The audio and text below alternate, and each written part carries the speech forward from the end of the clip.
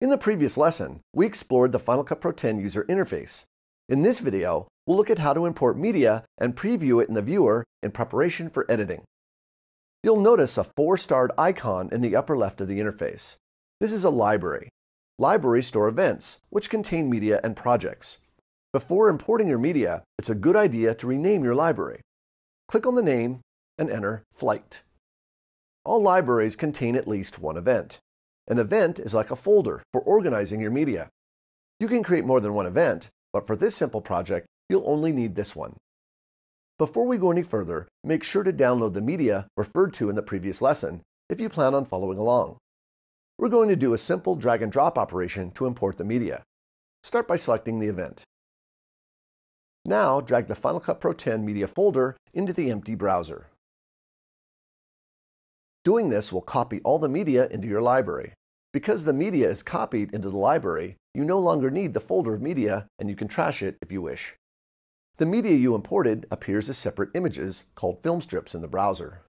You can now take your mouse pointer and skim over the film strip to view the contents of the clip in the viewer. The skimmer is the vertical red line under your pointer. Skimming is a fast way to view all the video in your browser. To play any clip from the skimmer position, press the spacebar.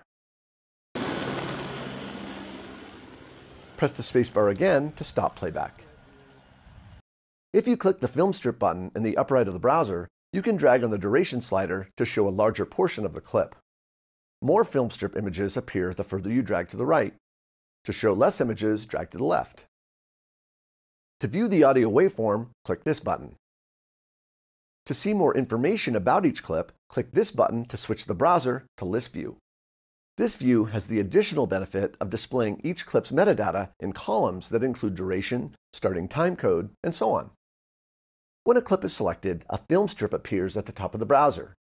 You can skim over the film strip to preview the content in the viewer and press the spacebar for playback. While playing back, pressing the down arrow loads the next clip into the list and continues to play back.